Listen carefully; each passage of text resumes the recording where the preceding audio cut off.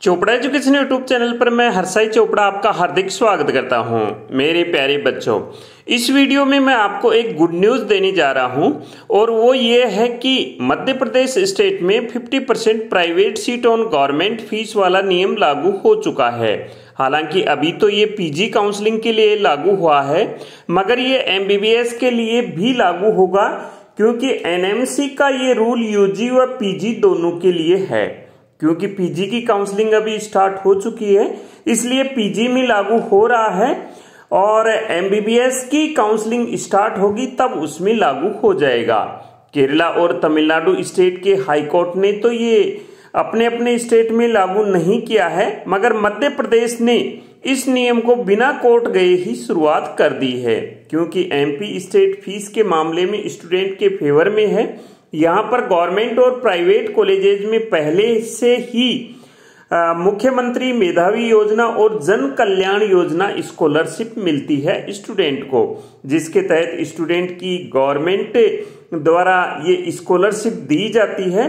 तो इस स्टेट में अगर प्राइवेट कॉलेजेस को सब्सिडी भी दी जाती है तो ये इसमें स्टेट को कोई प्रॉब्लम नहीं होगी। पीजी के लिए जो नोटिस निकला है, उसमें साफ़ कहा गया है कि प्राइवेट कॉलेजेस की 50 परसेंट गवर्नमेंट सीट पर जो फ़ीस है, वो प्राइवेट कॉलेजों की 50 परसेंट सीट पर होगी।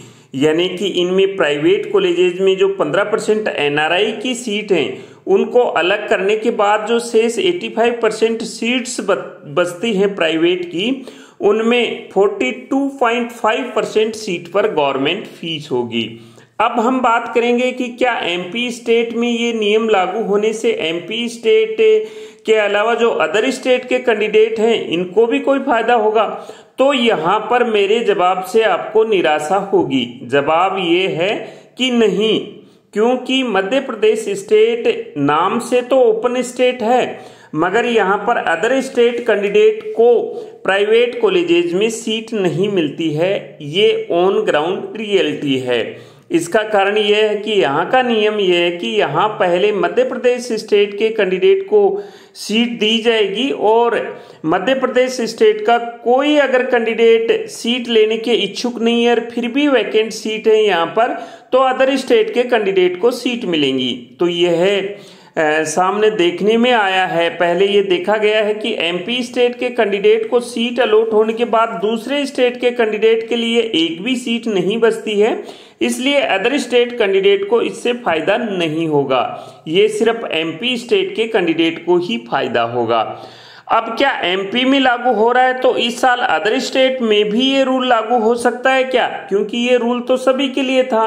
तो इसकी कोई संभावना नहीं लग रही, क्योंकि एमपी ने इसकी पहले भी स्टेट को प्राइवेट मेडिकल कॉलेज को इसके बारे में नोटिस दिया था और उन्होंने इसके बारे में कोई अपोज नहीं किया था। मगर केरला और तमिलनाडु स्टेट के प्राइवेट कॉलेज तो हाई कोर्ट जा चुके हैं और वेस्ट बंगाल के प्राइवेट कॉलेज भी सुप्रीम कोर्ट पहुँच चुके हैं। तो बाकी स्टेट में इस विषय पर ऐसी कोई तैयारी भी नहीं की गई तो ऐसे में नहीं लगता है कि बाकी स्टेट्स में इस साल ये रूल लागू होगा। तो ये जानकारी थी 50 percent private seat on government fees के रूल के बारे में। अगर आप काउंसलिंग के बारे में जानकारी लेना चाहते हैं तो हमारी बुक डाउनलोड कर सकते हैं। इस वीडियो के डिस्क्रिप्शन बॉक्स में लिंक है, या फिर हमारी वेबसाइट www.chopraeducation.in से भी इसको डाउनलोड कर सकते हैं। इसमें मैंने पूरी जानकारी दे रखी है, जो आपको ज़रूरत है काउंसलिंग के बारे में। आपको इससे काफ़ी नॉलेज होगा। जैसे ही आप ये डाउनलोड करेंगे, हम आपसे संपर्क कर लेंगे, आप हमारी पेड सर्विस भी ले सकते हैं।